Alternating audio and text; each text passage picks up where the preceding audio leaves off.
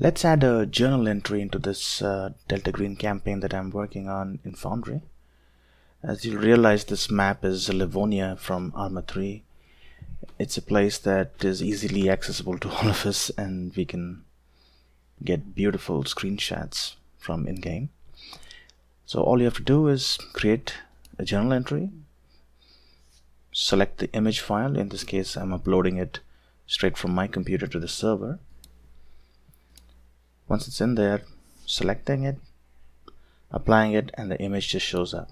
And the way it shows up in Foundry is uh, I find it very pleasing with the slight blurred background and everything.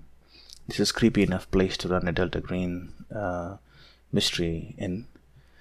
Now to put this onto the map again the map is just an image up there all I have to do is drag it onto the the play area. Uh, and the ruins is somewhere uh, over here. So all I have to do is drag the the ruins icon over here and that should be it. Now to select uh, the minimum size which is 32 pixels I just change the value to 32 pixels and that's good. Anything less than that it'll say error. You can choose the entry icon to look like ruins and at this point one of the common things is like hey the text doesn't go away but if you move your mouse around it'll go away. So let's take a look at how each of these intel points or points of interest in the town look like. So when players come in they see this map they have this information. Uh, some of these can be hidden from the players. Not all of them need to be shown. But you can double click on it and it'll pop up so you can take a closer look at the image or a different screenshot that you have taken of the area. And if you look in the uh, top right corner over there you will see that you can have image you can have text. You can also show it to the player so it'll just pop up on their screen when you click the button. So if they're wondering what you're talking about you can force them to see something. Now let's see if we can drag in an image uh, in the traditional format to do this we need a, a module called drag upload. All you have to do is find the image and drag it onto the screen. So this is the same ruins taken at night uh, making it a little bit more creepier to look at.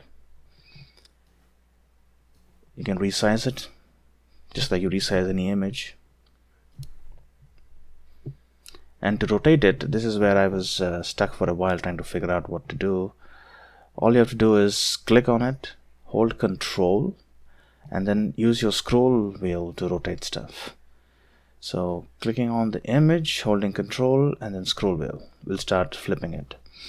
The only downside of doing it this way is that it has a certain amount of angles through which it can go.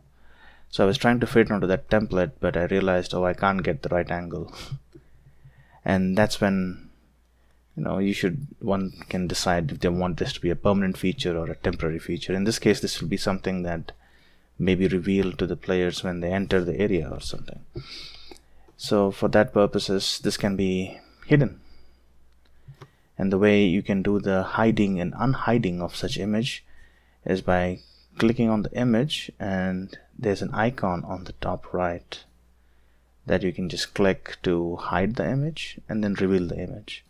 And this can be done uh, on top of other images that are pre-existing. For example the background folder is just a, uh, a template a placeholder which will have more information later on with texts and you know pre-made images on it.